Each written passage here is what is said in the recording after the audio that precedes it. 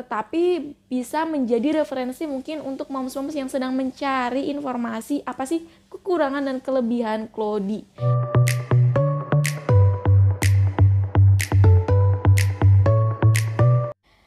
Assalamualaikum warahmatullahi wabarakatuh. Video kali ini Tante Riki akan sharing tentang kelebihan dan kekurangan saat menggunakan Clody.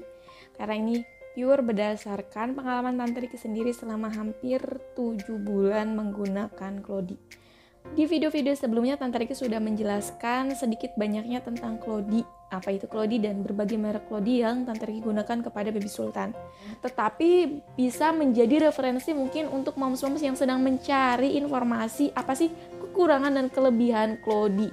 Jadi bisa dipertimbangkan apakah ingin beralih ke Clody ataupun Pospa. Untuk kelebihan yang Tante Riki rasakan saat menggunakan Clody pada Baby Sultan yang hampir alhamdulillah 24 jam Tante Riki gunakan Clody saat di rumah. Yang pertama, kenapa Tante Riki menggunakan Clody? Karena Clody ini sangat bagus sekali untuk bayi, apalagi bayi itu kulitnya sensitif ya. Jika anak mom sensitif pada bahan-bahan yang terdapat pada postbag, Tante Riki sarankan untuk menggunakan Clody saja.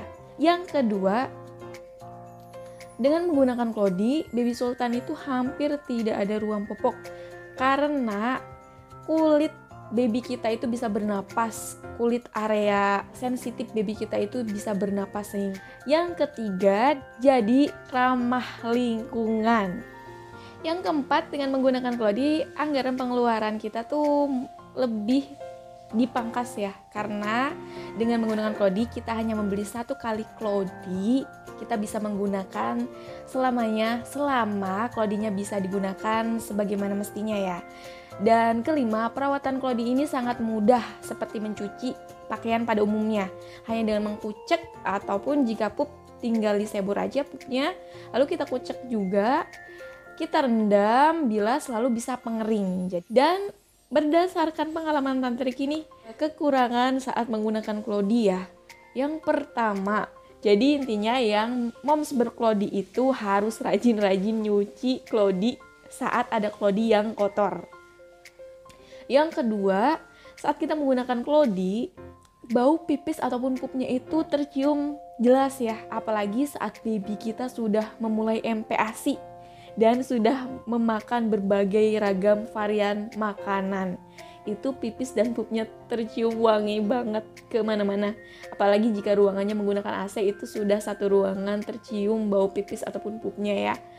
Yang ketiga kita harus setidaknya menyetok deterjen menurut Tante Riki ya. Karena Tante Riki untuk perawatan clothingnya itu tidak menggunakan deterjen biasa tetapi menggunakan deterjen khusus bayi slick ya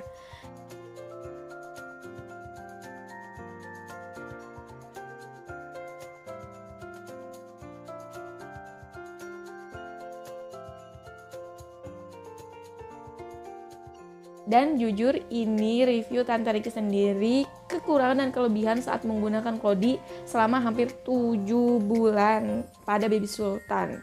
Mungkin akan berbeda pengalamannya jika diceritakan oleh orang lain ya karena ini kebiasaan Tante Riki sendiri seperti apa saat Tante Riki menggunakan Clody-nya ke Baby Sultan anak Tante Riki sendiri ya jadi nggak bisa disamaratakan mungkin untuk pengalamannya. Jadi Tante Riki sudah menggunakan Clody ini selama 24 jam ke Baby Sultan selama hampir 7 bulan itu hanya saat di rumah saja. Perlu digarisbawahi hanya saat di rumah saja. Kenapa? Karena Tante Riki juga masih menggunakan pampers ataupun pospak saat bepergian aja. Bepergiannya pun dalam durasi yang waktu lama ya, seperti berangkat pagi atau pulang sore. Jadi Tante Riki gunakan Pampers tujuannya agar mempermudah Tante Riki beraktivitas di luar sana.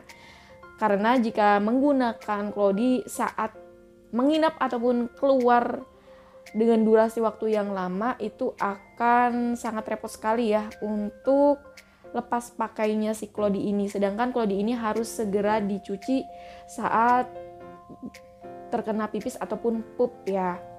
Semoga videonya bermanfaat untuk sharing kali ini tentang Cloudy karena Tante Riki excited banget men-sharingkan pengalaman Tante Riki ini selama berklodi dengan Baby Sultani selama 8 bulan.